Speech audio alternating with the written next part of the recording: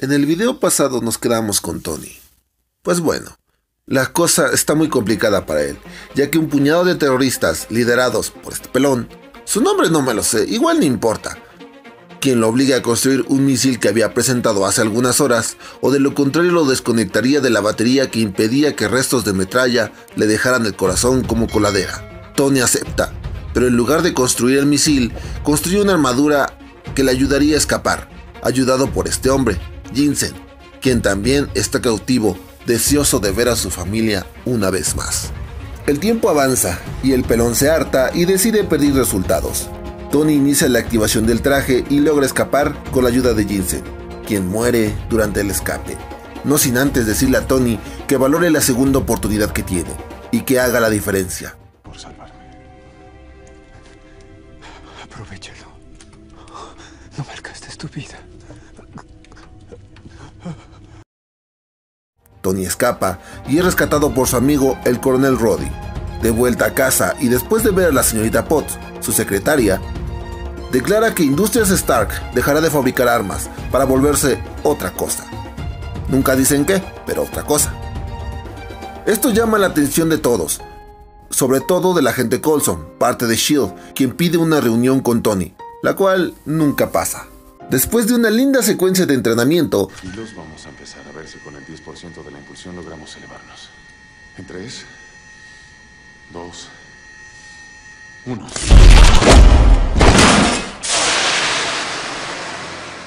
forma en el Iron Man que todos conocemos. Y ya después te enteras que el amigo de su padre lo mandó a secuestrar porque quería ser el dueño de la empresa. Ya sabes, lo típico. Igual, eso tampoco importa. Después de la telenovela industrial, en casa de Tony, y después de una conferencia donde él revela su verdadera identidad como Iron Man, aparece Nick Fury, quien desea hablarle de la iniciativa Vengadores, pero Tony la rechaza. Nick Fury, director de SHIELD. Ah, Le vine a hablar de la iniciativa Avengers, señor Stark. Varios meses después de esto, Iron Man tiene problemas con el tío Sam, que le reprocha el no compartir su tecnología. Tony dice que no. La señorita Potts se molesta con Tony porque desde que es Iron Man a la empresa la descuidó y por eso contrató a una secretaria, quien es ni nada menos ni nada más que la agente Romanoff, quien vigila a Tony por órdenes de Nick Fury. Por si eso fuera poco, el combustible del reactor que lo mantiene vivo también lo está matando. Parece que no se le ha ocurrido operarse. Lo entenderán más adelante. Tony decide mandar a la chingada todo y desaparece, siendo encontrado días después por Nick y Romanoff, que le dan una cura temporal para que él solo se recupere. Aparece este tipo que no aporta nada. Ah, este otro también, por lo que omito esta parte.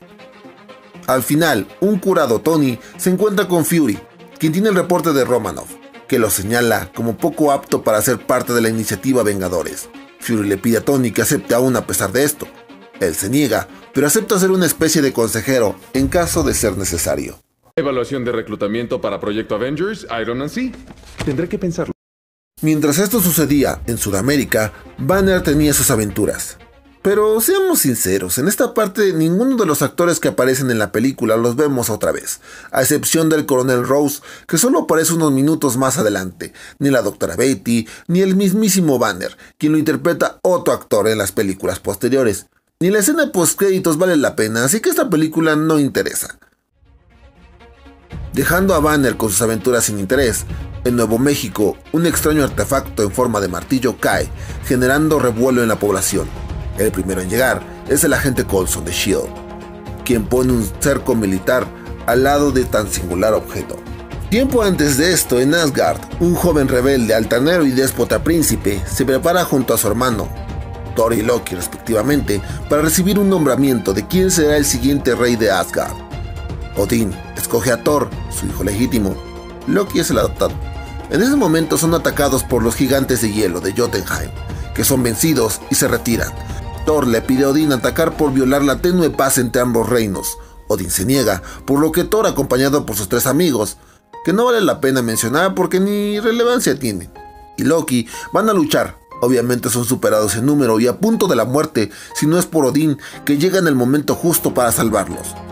En castigo por sus actos, Odín despoja de sus poderes a Thor y de su arma, el Mjolnir, quien recibe la orden de que sea levantado solamente por quien sea digno de su poder. Lanza el arma a la tierra y a Thor con ella. Y es así como Jane Foster y Thor se conocen. Y lo demás es historia. También conoce al Dr. Selvig, que por ahora no es importante, y la asistente, esa que sale en Dos Chicas Quebradas. Un buen show. Lástima que lo cancelaran. Después de esto... Bueno, el resto te lo cuento en el siguiente video. En tanto, te dejo mi Instagram y Twitter aquí abajo para que me sigas. También hay cosas interesantes ahí. Así que hasta el siguiente video.